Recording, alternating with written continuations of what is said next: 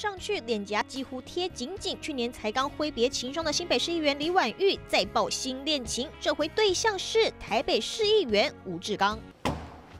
出商入队，出席各种场合，脸贴脸，身靠身，互动亲密，说起悄悄话来，就像热恋中的情侣。最后还一起离开，就连亲密合照也外流。据了解，两人火热交往期间，有人将照片传给吴志刚红粉知己，两人感情才因此转淡。你会来办公室吗？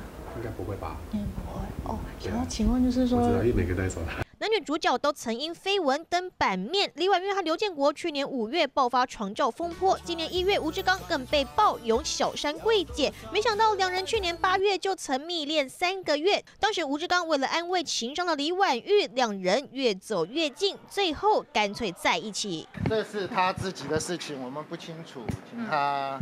有事情问他。这领域的部分，真的，我觉得每个人都有自己的空间嘛。